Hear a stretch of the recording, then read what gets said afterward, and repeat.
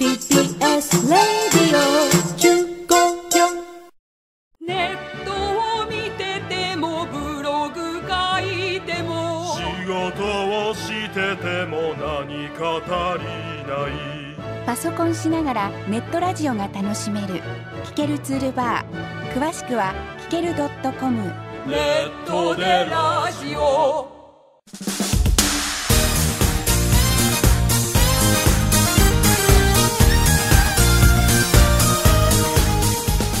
せーの。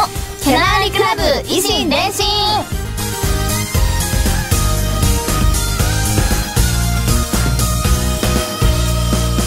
キャナーリクラブミッキーです。小川菜です、えーこの番組は私たちキャナーリクラブがみんなに伝えたいことを素直に伝えていこうという番組です。はいまた私たちキャナーリクラブは TBS ラジオモバイルガールズも務めています TBS ラジオのモバイルサイトを皆さんに知ってもらおうといろいろなキャンペーンをしていきたいと思っています。はい。出だしなんだけど出だし小川原だと思って。本当に？ニコニコ笑ってた。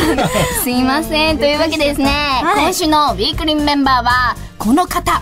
ロビンです。よろしくお願いします。イエーイ。ロビンはね去年の10月以来3度目。はい。はい。はいお久しぶ三度り目お久しぶりです。どうもどうも。お久しぶりです。ということでですね、はい今日3月15日は小川原何の日？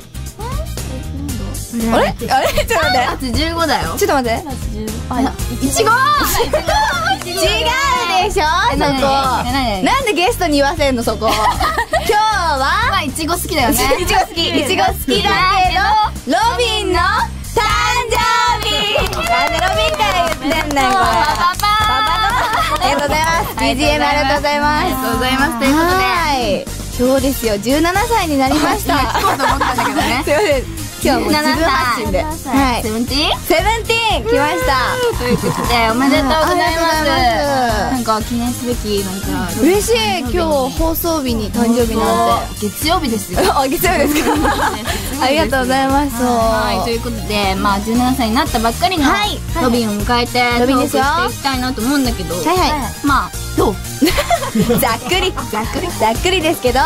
いやでも17ってまあ響きはいいんですけどセブンティーンっていうねこう変化があんまないじゃないですか。まあね、まあ、まあ、16はなんか良くも悪くも中途半端そう良くも悪くも中途半端なので、まあナチュラルに過ごしてなんかそこでなんか挑戦していきたいこととか見つけていきたいなとなんか。いけたいなあいけたら最後最後ちょっとダメだった。いけたいな17歳になったばっかりなんですけどそう。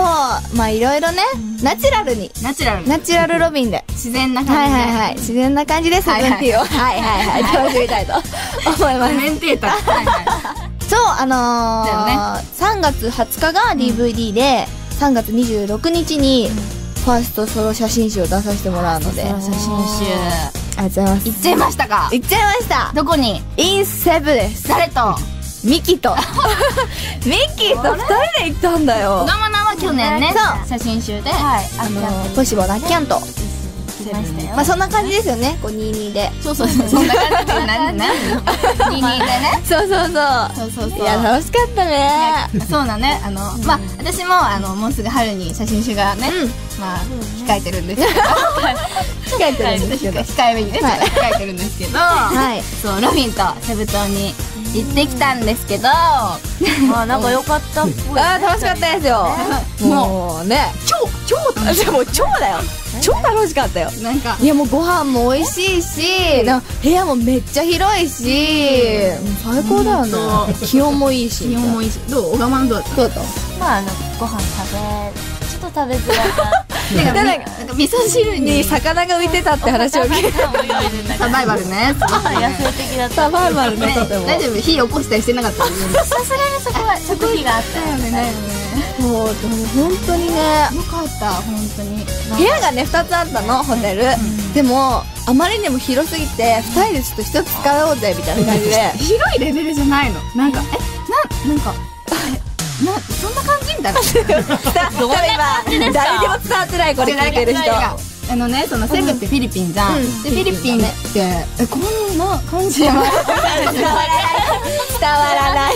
こんな感じ。いやでも本当に、あの本当フィリピンすごいいいとこだった。あフィリピンになってる。全部全部全部良かったよね。そうそうそう。ちょっと写真見ましたけどあのお部屋のね。あ見せてもらったけど。そうそうそうえ嘘でしょ？同じ場所とはちょっと思えなかった。ね小川多分小川菜とは行った地域がね違ったみたいで。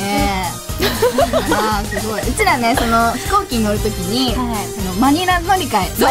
マニラっていうそう日本からマニラ乗り換えでちょっと言いづらいですけどマニラ乗り換え。マニラ乗り換えでそうセブだったんですけどね最初マニラってどこだろうみたいな感じでそうそうそうそうそうマニラ？みたいな。マニラバニラみたいな。感じだったのまあテンション高かったし。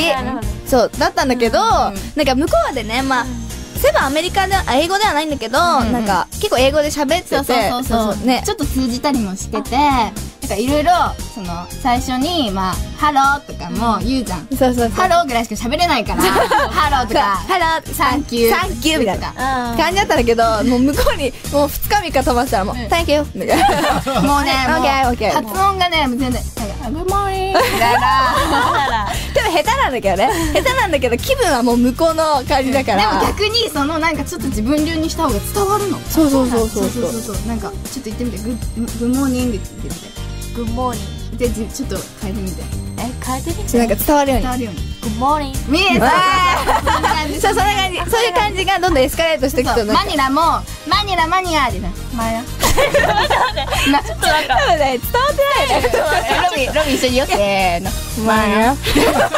なちょっとよくわからないです。とかも、えでもほんと楽しかったんだって楽しかった。伝わってきますね、二人。はい、ということで、もう本当にお別れの時間なんですけど、早いですね今日どうだったのみ？いやでも本当に今日は誕生日ということで、まあ、最初なんかいちごの日とか言われてしまったんですけどまあお祝いしてもらってすごい素敵な日になりました。ありがとうございます。ありがとうございます。はい。ということで、17歳、はい。充実した。はいエンジョイしていきたいと思います一ので。年にしてください。はい。ありがとうございます。はい、ということで、キャナーリクラブ維新伝心では皆さんのメールやおはがきを募集しています。はい、えー、今後、キャナーリクラブにこんなことをしてほしい、キャナーリクラブにこれを伝えたいなど、何でも結構です。はい、メールは、キャナーリアットマーク tbs.co.jp。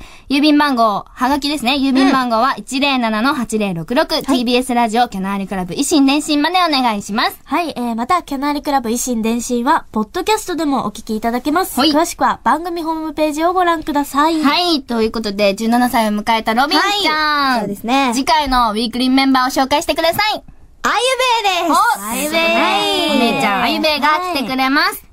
というわけで、私たちの曲を聴いてもらいたいと思います。エンタマン曲紹介。よろしくはーい、ロビン、ハッピーバースデー、17歳ですか。はい、これもどんどん年を召していくんですね。なんか切ねえないやでもいいじゃないですか、写真集を出して、まあ、どんどん素敵な思い出とともに成長していってください。本当におめでとうございます。さあ、それでは曲紹介させていただきます。キャナーリクラブで維新伝心です。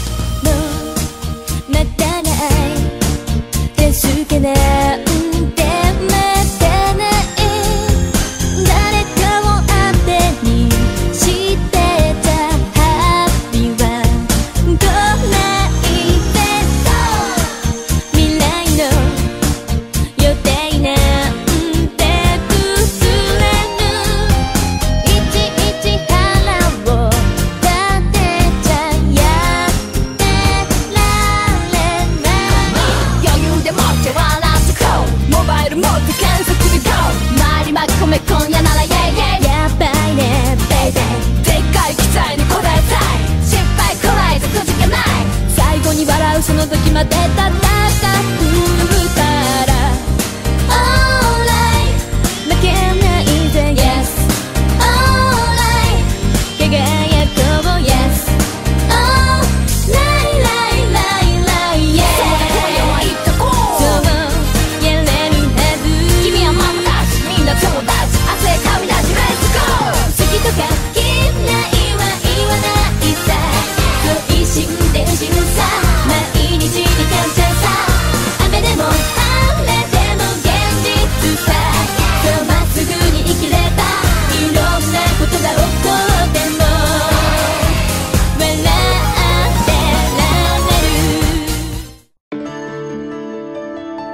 Enjoy podcasting.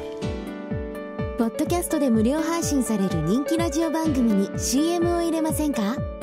情報感度の高いターゲットに効率的にメッセージが送れる「ポッドキャストアド」詳しくは「ラジオ CM55」で検索。